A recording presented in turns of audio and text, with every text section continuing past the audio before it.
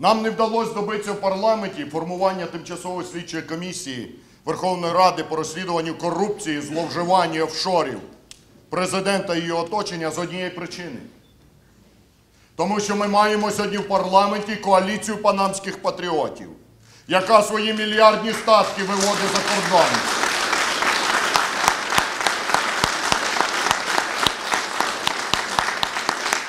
яка свої мільярдні статки виводить за кордон, яка не платить податків, які грабують країну тут, а своїх дітей народжують, навчають і лікують там.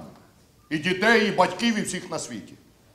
І з Україною їх тримає тільки одне: прагнення наживи, прагнення висмоктати всі соки і здерти останню свитину із українця. Тому ця коаліція панамських патріотів заблокувала прийняття в парламенті рішення про розслідування корупції президента і його оточення. Сам президент панічно боїться слова офшори. Панічно боїться слова офшори. Тому що він точно знає, що розслідування по офшорах по корупції приведе до його імпічменту. Іншого шляху відповідати немає.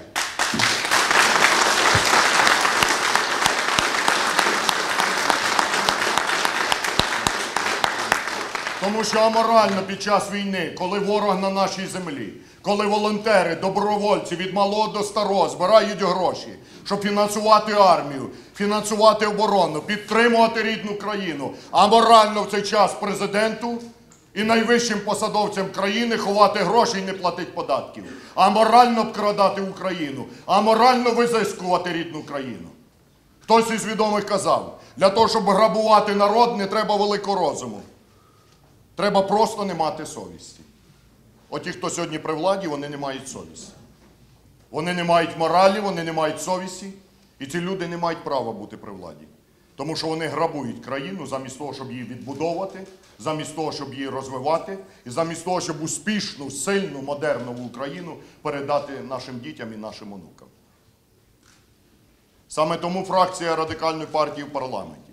Саме тому радикальна партія, як парламентська, всеукраїнська політична сила, ми є в опозиції до нинішнього курсу. Ми пропонуємо суспільству громадянам альтернативу. Наш економічний курс передбачає ліквідацію безробіття, підвищення заробітних плат і пенсій, захист українських пенсіонерів.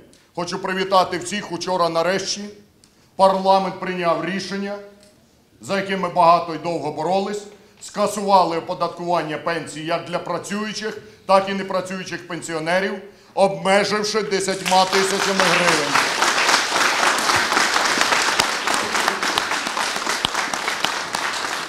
Парламент також вчора підтримав мою поправку, яка передбачає, що всі пенсії понад 10 тисяч гривень оподатковуються за ставкою 80%.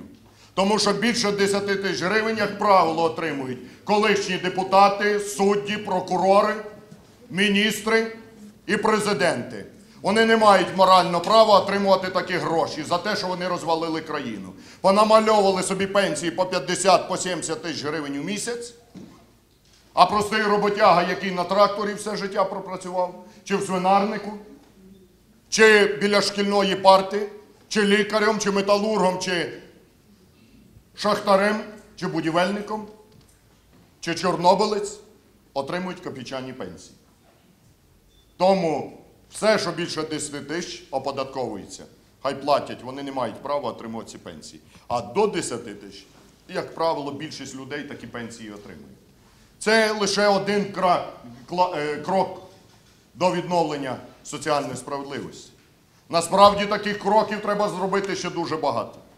Ми зараз боремося в парламенті, щоб подолати вето президента на закон, який був прийнятий, наш закон, який дає право українським жінкам у 55 років виходити на пенсію, коли в них є 30 років трудового стажу.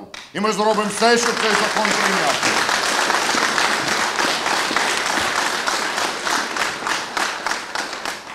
Ми боремося за прийняття в парламенті цілого ряду законів за авторством депутатів від радикальної партії, які дадуть головне робочі місця для молоді, збільшення експортного потенціалу, захист цілих галузей української економіки. На жаль, ми бачимо, що нинішня влада нас у цьому не підтримує. Наведу приклад. Ми багато боролись за те, щоб прийняти закон, який захистить українських металургів. 300 тисяч людей працює в металургійній галузі. Президент наклав вето на цей закон. Ми днями в парламенті прийняли закон, який радикально знижує акцизні ставки на реєстрацію автомобілів, ввезених за кордоном. Президент знову наклав вето на цей закон. Ми прийняли закон, який дає можливість жінкам 55 років виходити на пенсію. Президент наклав вето на цей закон. І я таких прикладів. Ми прийняли закон, який дає можливість жителям гуртожитків приватизувати ті кімнати, хібари, в яких вони все життя прожили, щоб мати свій власний куток. Президент наклав вето на цей закон. Я питаю, що в нас за президент? Кого він захищає? Ганьба! Якщо всі закони спрямовані на підтримку людей, на підтримку національного виробника, на підтримку цілих галузей економіки, на підтримку громадян, він ветує ці закони. Ті закони, які дають можливість узурпувати владу, збагатитися олігархам, нагребти собі мільярди в кишені. Ці закони вони приймають за дві години, як свого кума Луценка генпрокурором призначив, і негайно підписують. За дві години змінили закон, щоб Луценка призначив генпрокурором. Хай би так за дві години реформи проводили. І людям пенсії і зарплати піднімали, як вони своїх кумів генпрокурорами призначають.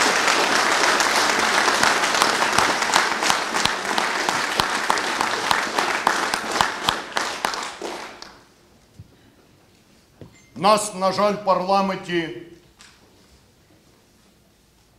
ще не 226. Я переконаний, що дуже скоро прийде цей час, коли ми будемо з вами партією, яка переможе на парламентських і на президентських виборах. Ви всі, я сподіваюся,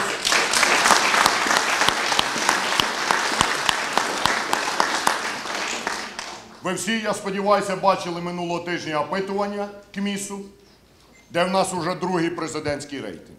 І це тільки початок. Дуже скоро ми матимемо перший рейтинг і перемогу на виборах.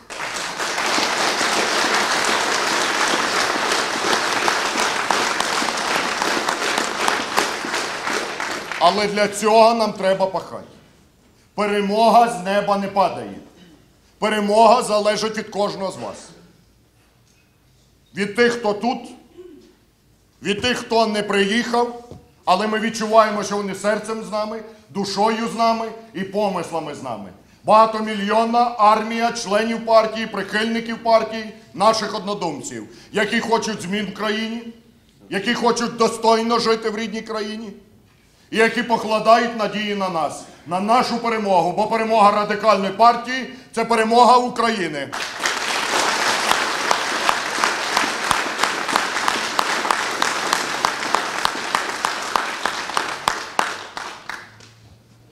Ці перемоги починаються з малого.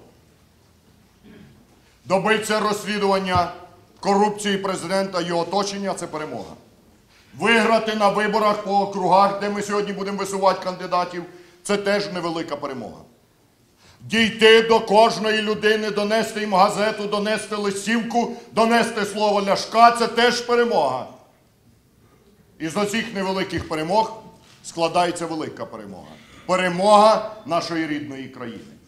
Тому що нам немає куди їхати. У нас немає власності за кордоном, у нас немає рахунків за кордоном. Ми своїх дітей навчаємо в Україні. Ми тут лікуємося, ми тут живемо і, очевидно, тут і помремо. Тому ми, в першу чергу, кровно зацікавлені в тому, щоб змінити країну. Щоб наші діти не їхали по закордонах в пошуках кращої долі. Щоб наші батьки, пенсіонери не тинялись, збираючи пляшки чи риючись по помийках. Щоб наші діти, яким ми даємо освіту, щоб вони не на базарах торгували, а піднімали і відбудовували країну. Щоб нашим дітям, яким не пощастило народити синами президента, чи стати кумами президента, щоб вони мали точно такі ж можливості успіху, досягнень, самореалізації, як це мають родичі президента. Тільки вони мають цей успіх тому, що вони родились із золотою ложкою в році. Вони мають цей успіх тому, що їх, як колись Калігула свого коня сенатором зробив, тепер президент своїх синів робить депутатами, а кумів прокурорами. У нас немає того, хто тягнутиме нас на ті чи інші посади. Ми маємо самі цього добитися. Але при цьому повинні пам'ятати, що посада це не мета. Посада це засіб. Засіб інструмент для реалізації нашої програми. А програма в нас одна: сильна, успішна, сучасна, радикально модернізована наша рідна країна.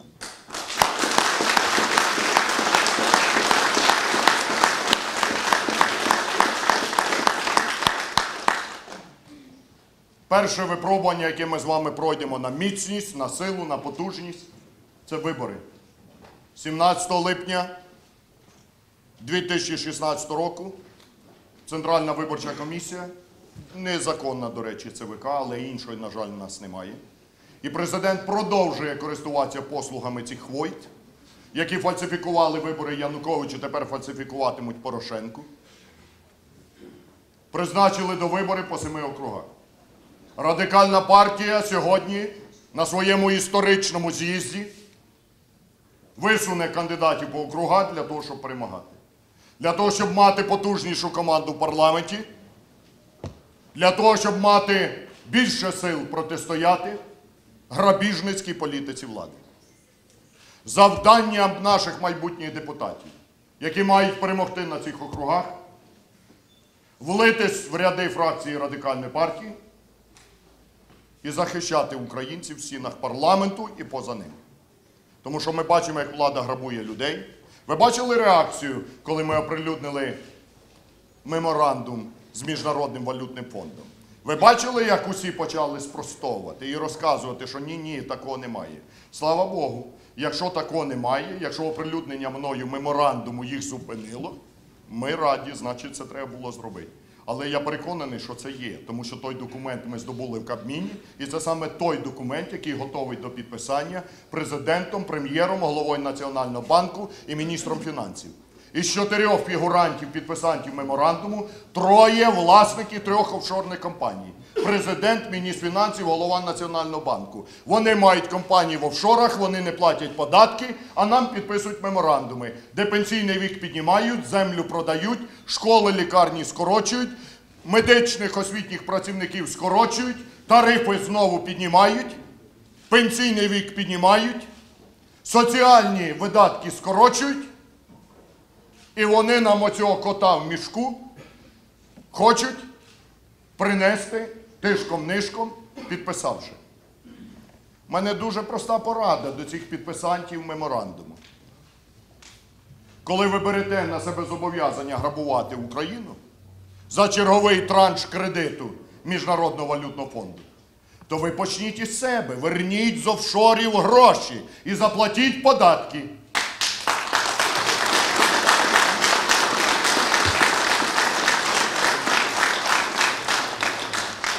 І тоді вимагайте чогось від когось іншого. А коли самі не платять податки, коли ховають гроші, то яке ви маєте право заставляти всіх інших платити податки? Ми що, дурніші вас? Ні. Ми не дурніші вас. Але на відміну від тих, хто грабує країну, у нас є совість. І в нас є почуття відповідальності. І ми розуміємо, що в нинішніх умовах грабувати країну це мародерство під час війни. За це розстрілювати треба. Отам прямо на місці, де грабують.